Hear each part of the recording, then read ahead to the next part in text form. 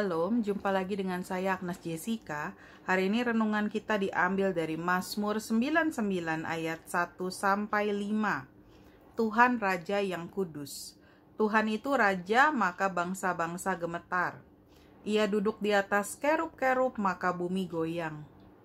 Tuhan itu maha besar di Sion dan ia tinggi mengatasi segala bangsa. Biarlah mereka menyanyikan syukur bagi namamu yang besar dan dahsyat, kuduslah ia. Raja yang kuat yang mencintai hukum, engkaulah yang menegakkan kebenaran, hukum dan keadilan di antara keturunan Yakub. Engkaulah yang melakukannya. Tinggikanlah Tuhan Allah kita dan sujudlah menyembah kepada tumpuan kakinya, kuduslah ia. Nah, jika kita melihat perjanjian lama di mana dia berkata Tuhan adalah raja, pada saat itu Kristus belum datang. Tetapi yang dimaksudkan dengan Tuhan adalah raja itu adalah Yesus Kristus karena dia adalah raja segala raja atas dunia ini karena Allah Bapa sudah menetapkannya demikian. Dunia ini diciptakan bagi Kristus, ya. Jadi dia sudah dipersiapkan untuk turun ke dunia itu sebelum dunia dijadikan.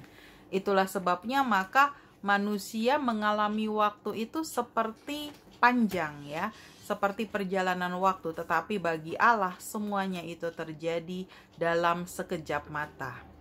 Dan Yesus itu lahirlah ya di tengah-tengah Alkitab kita ya yang usianya itu sudah 6000 tahun yang lalu, dia datang uh, di tahun 0 Masehi sampai 33 Masehi ya dia disalib dan mati dan bangkit dan terangkat ke sorga.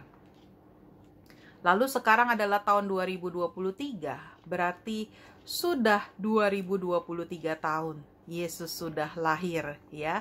Yesus sedang terangkat di sorga dan Yesus masih hidup selama-lamanya. Tapi Yesus akan datang kembali karena dia yang memiliki dunia ini. Itulah sebabnya maka suatu kali Yesus akan datang yang kedua kali, dan saat ini kita sedang menantikan kedatangannya.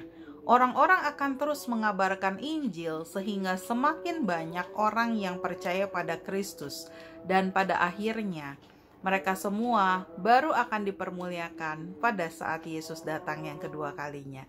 Demikianlah firman Tuhan, saudara. Semoga Tuhan memberkati kita semua.